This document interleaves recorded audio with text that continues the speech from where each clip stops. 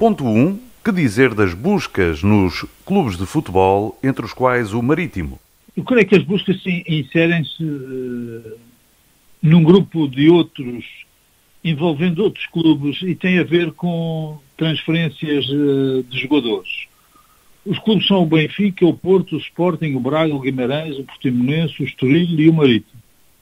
Resulta, creio eu, de denúncias do Wikileaks, ou do Futebol Leaks, como se queira dizer. E se servirem para tornar os clubes mais transparentes, serão benéficas uh, para o futebol nacional. Sei que, para além de fazerem buscas uh, no complexo do Marítimo, tiveram também em casa do seu presidente. E se do Marítimo levaram alguns documentos, como seria previsível, de casa não creio que tenham levado nada. O que, quanto ao Marítimo, poderá estar eh, em causa serão as transferências de Danilo, eh, que foi para o Porto Fluminense e depois para o Porto, do Sami e do outro Danilo, brasileiro, que mais tarde esteve aqui a jogar no União.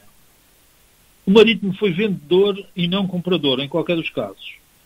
E pelas declarações do seu presidente, de forma calma e absolutamente à vontade, antecipa que os problemas a existirem não serão para o Marítimo.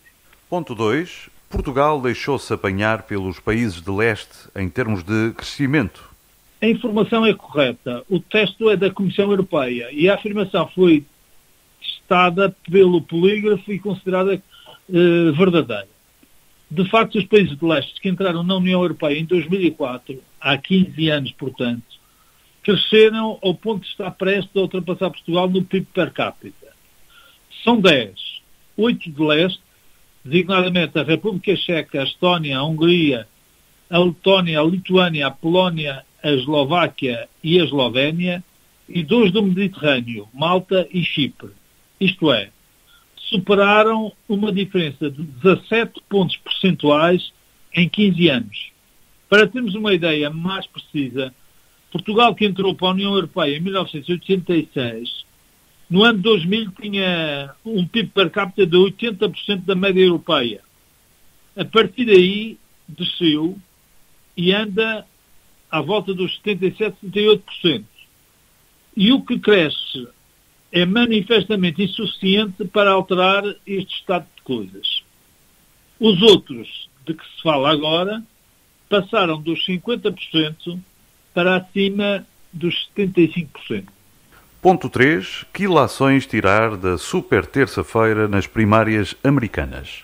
Bom, tal como se previa, a disputa final acontecerá entre Biden e Sanders. A expectativa em relação a Bloomberg o multimilionário que angariou mais fundos para a campanha não se confirmou e já ontem desistiu a favor do ex-vice-presidente de Obama.